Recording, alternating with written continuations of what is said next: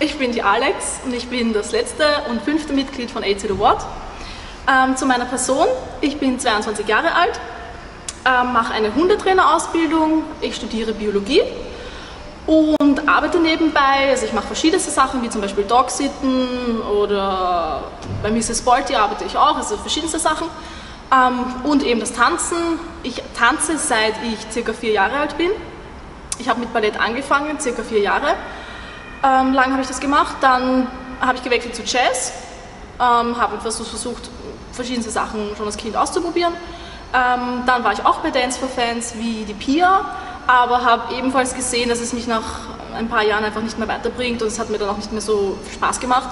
Und ähm, da habe ich dann auch eine kurze Pause eingelegt, weil ich nicht ganz wusste, was soll ich jetzt machen, wo soll ich hingehen.